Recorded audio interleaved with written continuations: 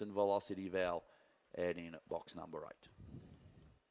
All locked away now for the final event. Pathway Stake over the 407. Favourite from the one, Follow the Angel, 225. Set.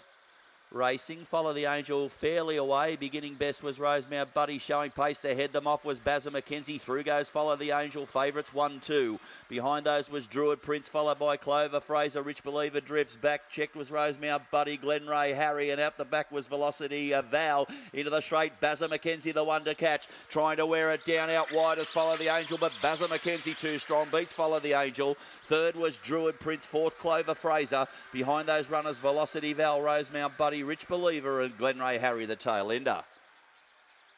Bazza McKenzie gets the prize in the final event on the card. $3.30 and $1.50. Defeats number one, Follow the Angel at 104. And third will go to six, Druid Prince at $10.50. They've run around the 23.50 mark. In fact, 23.54 is the time recorded. 23.54 with a run home time of 14.92. Seven defeat, defeats one.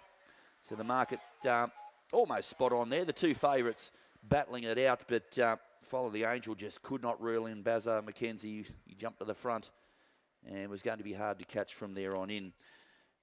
Seven, one, six, and two are the numbers on the 10th and final event. Seven, one, six, two. Bazza McKenzie, a black dog by Shaky.